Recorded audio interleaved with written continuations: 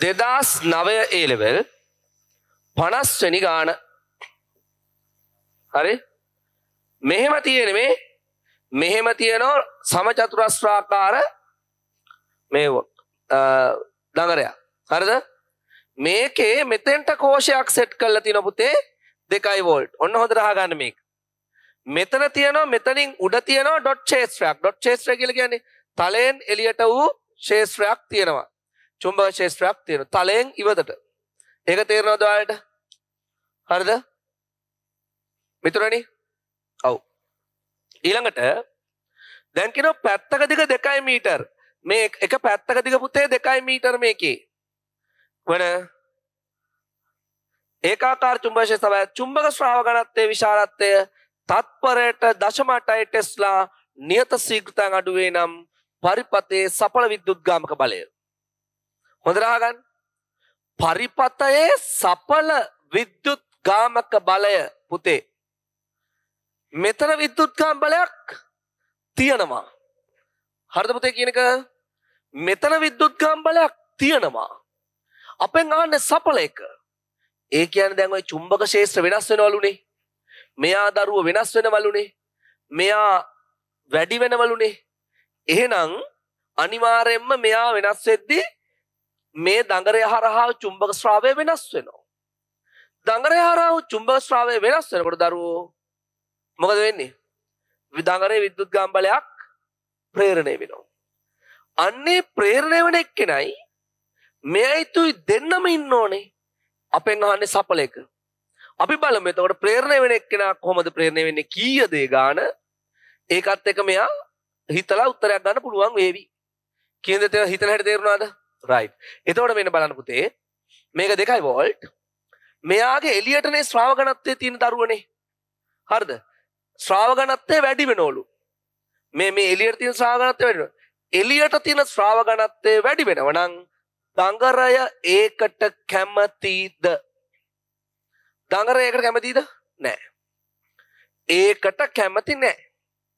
එහෙනම් මොකද කරන්න ඕන දඟරය? ඒකට විරුද්ධ වීම සඳහා එළියට තියෙන ශ්‍රාවකණත්වය වැඩි වෙනවා නම් ඒක අඩු කරගන්න බලන්න ඕන. එළියට තියෙන ශ්‍රාවකණත්වය අඩු කරගන්න ක්‍රමය තමයි මොකද පුතා? ඇතුළට ශ්‍රාවකණත්වයක් හදන එක. ඒතර ඇතුළට ශ්‍රාවකණත්වයක් හදන්න ඇතුළට ශ්‍රාවකණත්වයක් හදන්න මේ පොටේ ධාරායන්න ඕන කොහෙට?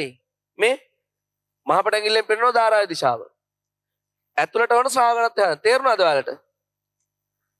ධාරා මෙහෙට ගැලුවොත් ඇතුළට ශ්‍රාවකණත්වයක් හැදේවි. එහෙනම් ධාරාව මෙහෙම ගලන්න තමයි විද්‍යුත් ගාම බලය ප්‍රේරණය වෙන්නේ. ඔයාලට ඒක තේරුණාද කියන දරුවනේ? හරිද? ධාරාව මෙහෙම ගලන්න. ඒ කියන්නේ මෙයාට විරුද්ධව තමයි විද්‍යුත් ගාම බලය ප්‍රේරණය වෙන්නේ. එහෙනම් මෙහෙම ප්‍රේරණය වෙන්නේ. එයාට විරුද්ධව ප්‍රේරණය වෙන්නේ. කීයක් ප්‍රේරණය වෙනවද කියලාත් බලන්න ඕනේ කොහොමද බලන්නේ? අනේ ඉතින් පෙරේත විද්‍යුත් ගාම බලය සමානයි ඍණ d ට dt n5. පොටවල් ගාන කීයද මේකේ? පොටවල් එකයි. එක පොටයි නෝම තියෙන්නේ. පොටවල් එකයි d5 බෙදීම dt. අඩේ 5 කියන්නේ බෑනේ. ඔවුනේ. ඍණ a වාරයක් db බෙදීම dt නේ. ඔවුනේ. db බෙදීම dt දීලා තියෙනෝනේ. ඔවුනේ. වර්ගඵලය දෙවරක් දෙක හතරයිනේ. හතරයි db බෙදීම dt දශම 8යි. එහෙමනේ දීලා වර්ගඵලය හතරයි නේද? ඔව් වර්ගඵලය හතරව නෙමෙයි හතර හතරෙන් භාගය ඇයි ඇයි මේ ටිකේ විතරනේ තියෙන්නේ? හරිනේ? එහෙනම් මේක දෙකෙන් බෙදෙන්න ඕන. චුම්බක ක්ෂේත්‍රයේ තියෙන මේ ටිකේ විතරයි. චුම්බක ක්ෂේත්‍රයේ පවතින කොටසේ වර්ගඵලය තමයි දාන්න ඕන. එහෙනම් මෙතන එනවා මෙතන 2යි දෙවරක් දශමට 1.6යි වෝල්ට්.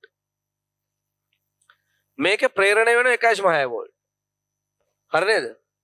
එතකොට අපිට කියන මොකද? නියත පොඩ්ඩක් වැරදුනා මට හොඳේ. ශ්‍රාවකණත්වය වැඩි වෙනව නෙවෙයි කියන අඩු වෙනවයි කියලානේ. හරි? නියත සික්තන් අඩු වෙනවා කියලා. මේ ශේෂ්ත්‍රය අඩු වෙනවලු. මේක අඩු වෙනව නම් වැඩි කරගන්න ඕනයි. වැඩි කරගන්න නම් එළියට ශේෂ්ත්‍රයක් හදන්න ඕනයි.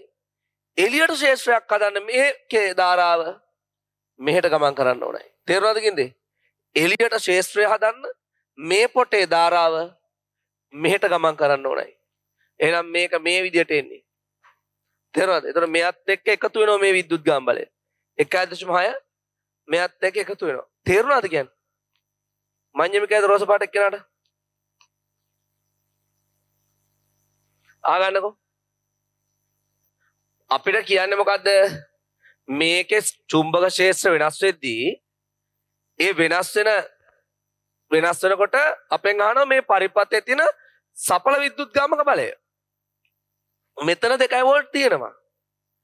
ඊට අමතරව එතන මොකද්ද වෙන්නේ මේ චුම්බක ක්ෂේත්‍ර වෙනස් වීම නිසා මේකෙත් විද්‍යුත් ගාම බලය ප්‍රේරණය වේවි. එතන ප්‍රේරණය වෙච්ච එකයි මේ තියෙන එකයි දෙකේම සම්ප්‍රයුක්තයක් තමයි එන්නේ. සඵල විද්‍යුත් ගාමක බලය. කියන දේ තේරෙනවද? එතකොට දරුවනි අපි බලන්න ඕන එහෙනම් මේ මේ චුම්බක ක්ෂේත්‍රය වෙනස් වීම නිසා හටගන්නා විද්‍යුත්ගාමක බලයේ විශාලත්වයයි දිශාවයි සොයා ගන්න පිළිවෙලක්. ඉතින් මේ එක මේ මේකේ දිශාව මේ විශාලත්වය හොයන ක්‍රමය තමයි මේක. E සමානයි ඍණ d යට dt n5. පොටවල් ගාන එකයි. d යට dt 5 5 කියන්නේ බෑ. ඒකෙත් වර්ගඵලය නියතයි. මේ මේ මේ ටික වර්ගඵලය තමයි අපි දාන්න ඕන. වර්ගඵලය නියතයි. එතකොට db බෙදීම dt ඉතුරු වෙනවා. Db බෙදීම dt 0.8 කියලා දීලා තිනවා. වර්ගඵලය වෙන්නේ දෙවරක් දෙක හතරේ මේ මුළු වර්ගඵලය. ඒකෙන් භාගයයි ශේෂ්ත්‍රයේ තියෙන වර්ගඵලය. ඒ අනුව 1.6 වෝල්ට් තමයි ප්‍රේරිත විද්‍යුත් ගාමක බලය. ඒක ප්‍රේරණය වෙන දිශාව හොයන්න ගියාම මෙයා නියත ශීඝ්‍රතාවෙන් අඩු වෙමින්ලු තියෙන්නේ. මෙයා නියත්සිකට අඩුවමින් තියෙනවනම් හරිද?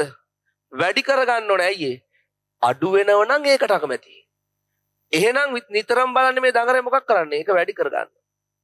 වැඩි කරගන්න බලන්න පුතා. මේ එළියට තියෙන ශ්‍රාවකණත්වය වැඩි කරන්න පුළුවන්. ඕගොල්ලෝ දන්න මැක්ස්වෙල්ගේ කස්කුරුප්පු නියමනේ මේකේ ධාරාවක් මෙහෙම යවලා වැඩි කරගන්න පුළුවන්. එතන වැඩි කර ගැනීම සඳහා ධාරාවක් යවන්නේ කොහෙටද කියලා බලන්න. මේ එළියට තියෙන ශ්‍රාවකණත්වය වැඩි කරන්න ඕනේ. කියන්නේ එළියට ශ්‍රාවකණත්වයක් හදන්න ඕන. එළියට ශ්‍රාවකණත්වයක් හදන්න ධාරා මෙහෙම යන්න ඕන. ගිහති කියපු දේ ඉවතට ශ්‍රාවකණත්වයක් හදන්න මාමාවර්තව යන්න ඕන. ඇතුළට ශ්‍රාවකණත්වයක් හදන්න දක්ෂිනාවර්තව යන්න ඕන. ඉතින් මේ කියන්නේ වාමාවර්තව. එළියට හැදිය යුතු නිසා. තේරුණාද දරුවෝ කියපු දේ? බොරුවට නම් ඔළුව වලන්නේ පපුතින් උඹලට තේරෙන්නේ නැත්නම් අහන්න ඕන. හලක් පොඩ දා ගන්න ඕන. මේ මේවා ආයි ආයි කරන්න තියන්න එපා හරිද? තේරෙනවද කියන්නේ? ආයි ආයි බල බල ආයි නේ එහෙම ඕනේ නැහැ. තේරෙනවද දරුවෝ? right